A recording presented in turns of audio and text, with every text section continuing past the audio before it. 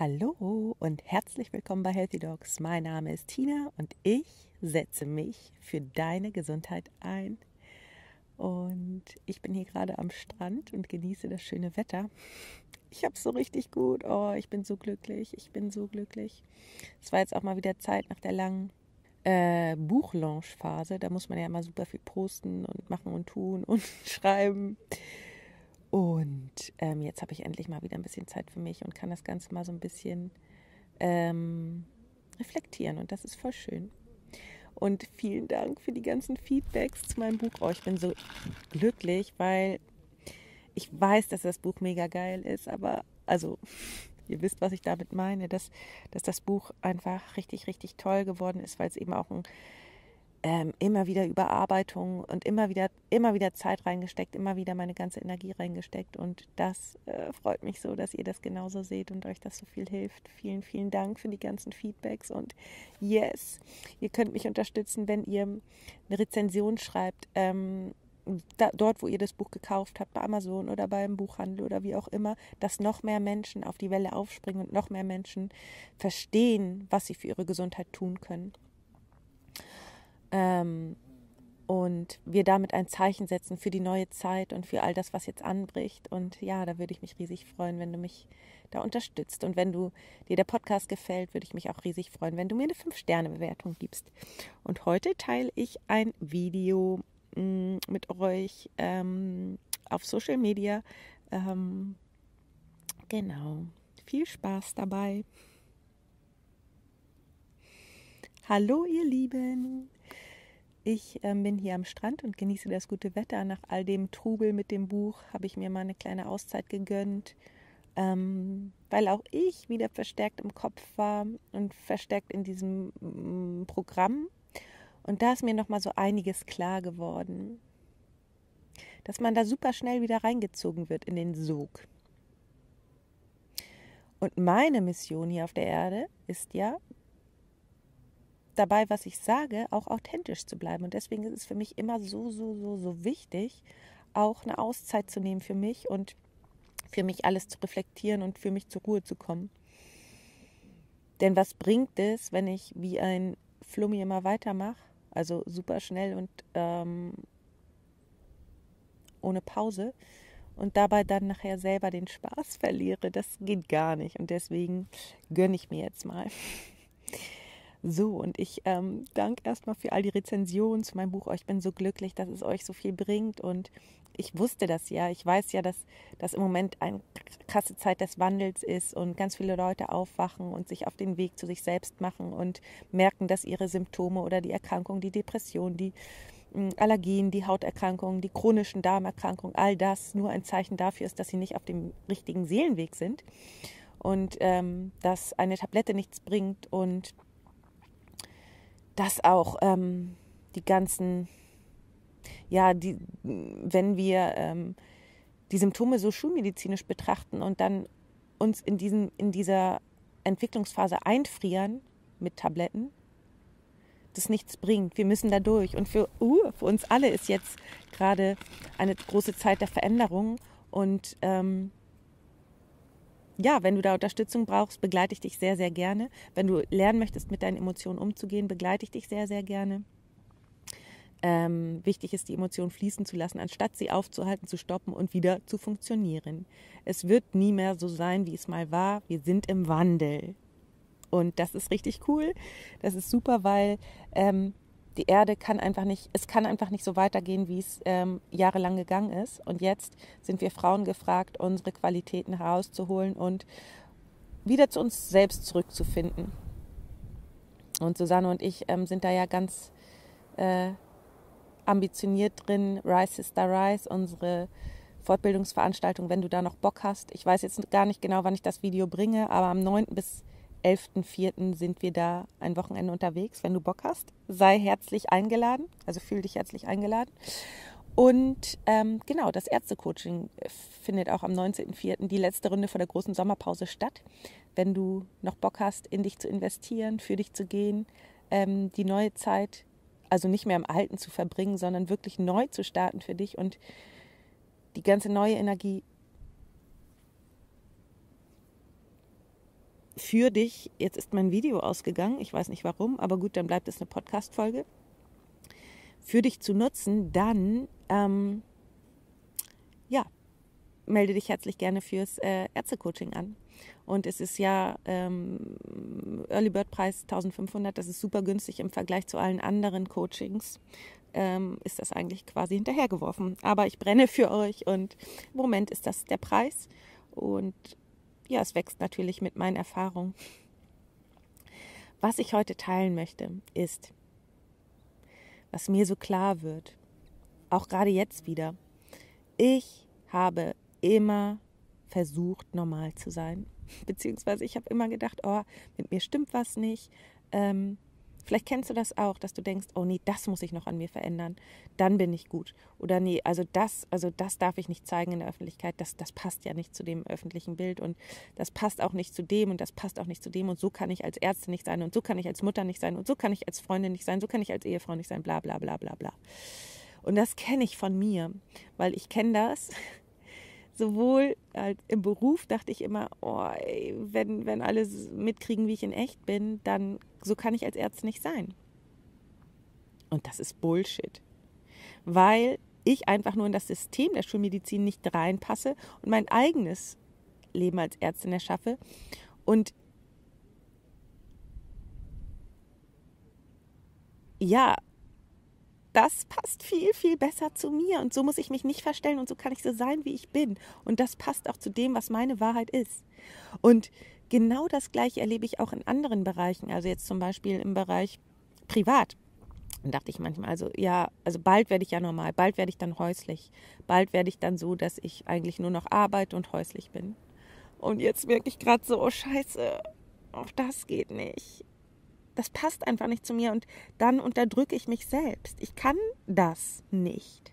Es geht nicht, es funktioniert nicht, weil dann komme ich in eine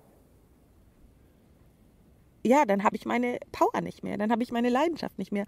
Und so geht es für mich nicht anders, als immer wieder aus diesem Programm, diesem Arbeitsprogramm, diesem Funktionieren-Programm, was heißt Funktionieren-Programm, aber ich will ja auch was auf der Welt erschaffen, ich möchte ja auch für euch da sein, aber daraus auch immer wieder auszubrechen und was richtig Großes für mich zu machen, nur für mich, nur für mich eine Auszeit zu nehmen, nur für mich jetzt hier am Strand zu liegen und zu reflektieren. Okay, ich nehme was für euch auf, weil ich es einfach nicht lassen kann und weil ich so gerne helfen möchte. Aber gleich chill ich wieder und mache einfach nur was für mich. Und was ich festgestellt habe dabei, ich habe immer wieder versucht, normal zu sein. Immer wieder habe ich versucht, okay, und jetzt mach für ich ein Leben wie alle anderen. Oh, und dann bin ich bereit für Haus und Kind. Und dann bin ich bereit für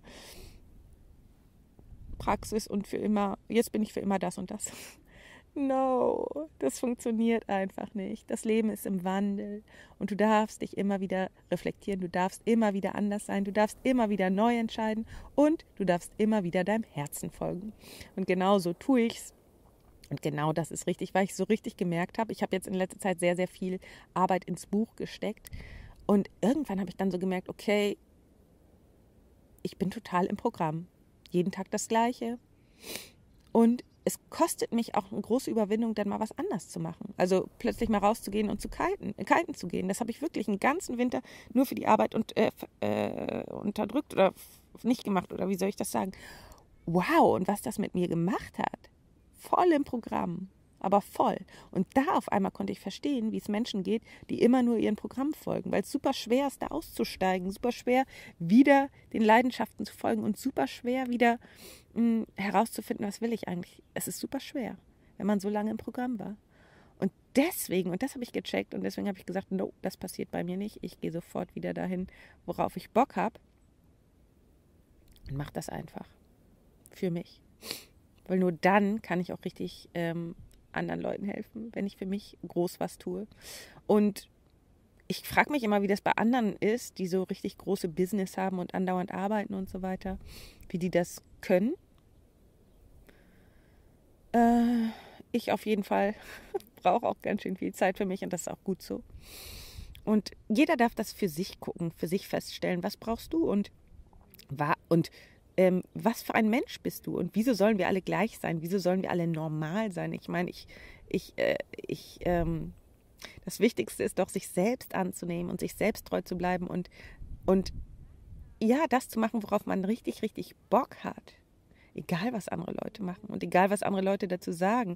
Ich habe mich, ich habe immer gedacht, ich bin zu laut, ich bin zu schnell, ich bin zu aktiv, ich bin zu wild, ich bin zu, ich bin den anderen Leuten zu schnell, ich bin zu, oh, immer dieses zu, zu, zu, ja, und bald bin ich dann normal. Nee, so kann ich nicht sein. Ich bin so, wie ich bin und das ist gut so. Denn nur wenn ich so bin, wie ich bin und glücklich bin, bin ich für die anderen ein, eine Inspiration, sagen wir mal so. Und das kannst du immer wieder offen und ehrlich kommunizieren mit deinen Angehörigen, mit deinen Liebsten, dass die dich richtig verstehen. Dass sie dich richtig verstehen und dass die deine Wünsche respektieren. Und ich meine, ich respektiere auch die Wünsche von allen anderen und von daher wünsche ich mir einfach nur, dass jeder mich so lässt, wie ich bin. Und das ist voll schön. Und das wollte ich heute mit euch teilen. Und ja, vielleicht kennst du das auch, dass du dich versuchst zu verstellen für andere. Aber ich lade dich dazu ein, du selbst zu sein und ganz und gar hm, deine Qualitäten hier in die Welt zu bringen. Denn nur wenn du ganz du selbst bist, bist du ganz. Und ähm, ja, bist eine Inspiration für andere, wie schon gesagt.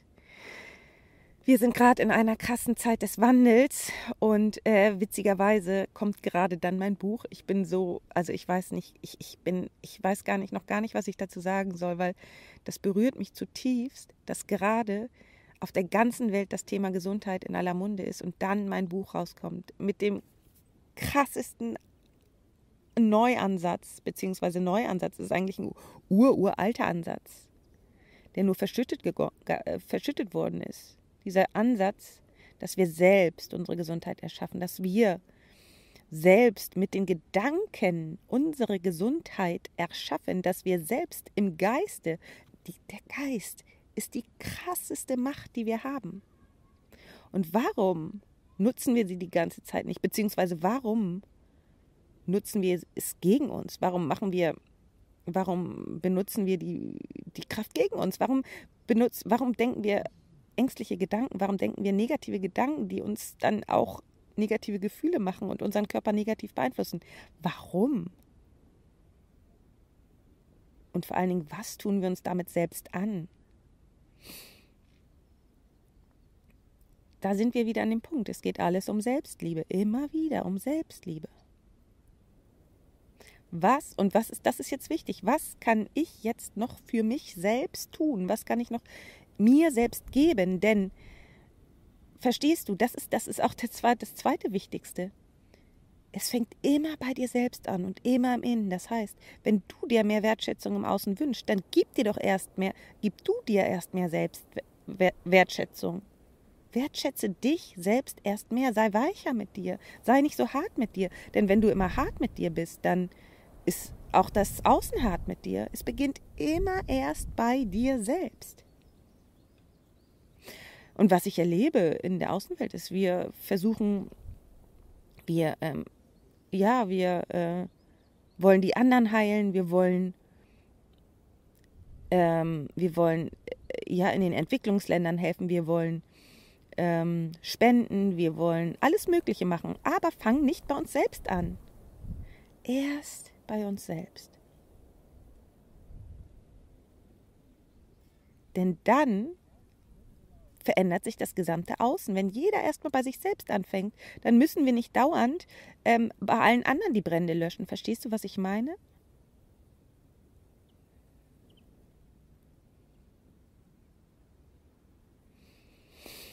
Ja, es ist ein Riesenwandel im Moment im Außen zu sehen und es ist total schön, denn dafür ich, fühle ich mich, bin ich hier und genau dafür ist alles in den letzten Jahren passiert, was passiert ist. Ich habe mich vorbereitet und jetzt, ja, fühle ich mich genau dafür berufen. Und wenn du Bock hast, da ein Stück mit mir zu gehen oder dich von mir unterstützen zu lassen, dann ist das Ärzte-Coaching vielleicht genau das Richtige am 19.04. Oder auch das Coaching zum Buch Intuitiv Gesund, das am 28.06. startet.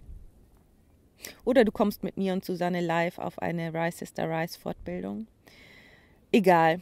Und wenn du erst mal einsteigen willst, dann hol dir das Buch. Ich habe das Gefühl, dass das richtig groß wird mit dem Buch und dass äh, viele Leute natürlich gerade jetzt das Thema Gesundheit interessiert und gerade jetzt ein, wir einen neuen Ansatz wollen. Gerade jetzt wollen wir nicht mehr uns abhängig fühlen von irgendwelchen Medikamenten, von irgendwelchen, ja, außen, von außen bestimmt, sondern wir wollen uns selber von innen bestimmen.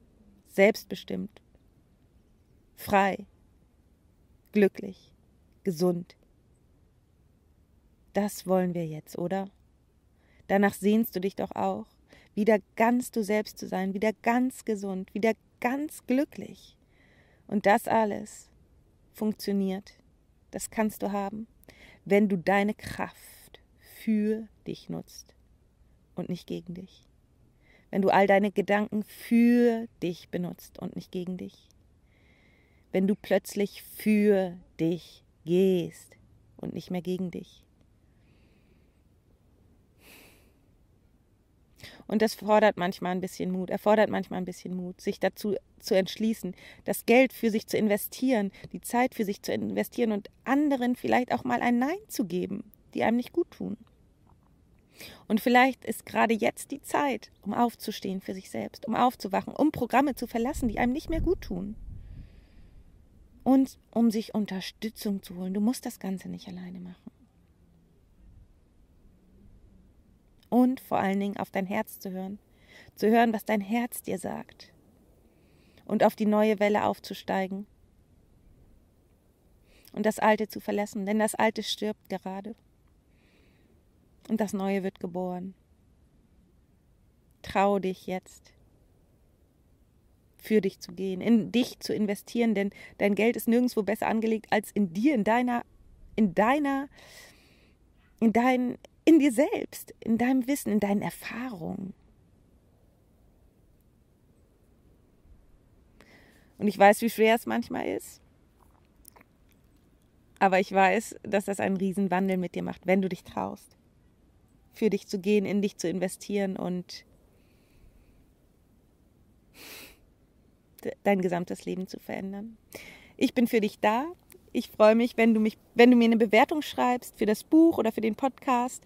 Und ich danke euch allen für die ganzen Feedbacks und für die ganzen, ja, das, den ganzen Zuspruch, die ganzen Bilder, die ihr mir schickt. Und ich sende euch ganz liebe Grüße. Macht's gut. Alles Liebe. Ciao, ciao. Ach so, und ähm, ich wollte noch sagen, der Podcast macht eine Sommerpause wahrscheinlich, wenn ich mit meinem Mann die zwei Monate unterwegs bin mit dem Bus ja, habe ich ja euch vorhin schon erzählt, ich will auch mal ein bisschen ähm, wieder reflektieren. Ich weiß eh, dass das alles groß wird, was ich mache und wieso soll ich mich jetzt beeilen, wenn eh alles kommt. Und ich meine, ich habe Bock, aber ich möchte auch nicht meinen Mann vernachlässigen und auch nicht ähm, das Genießen vernachlässigen. Und das mache ich jetzt im Sommer, zwei Monate. Natürlich mache ich nebenbei meine Coachings, das ist klar. Aber ich werde nicht mehr so viel umsonst in der Zeit machen, weil ich die Zeit dann lieber mit meinem Mann verbringe, der sich das wünscht, dass ich mehr Zeit für ihn habe. Und das finde ich auch, das wünsche ich mir auch und das geht los. So, dann alles Liebe, bleib gesund, deine Tina.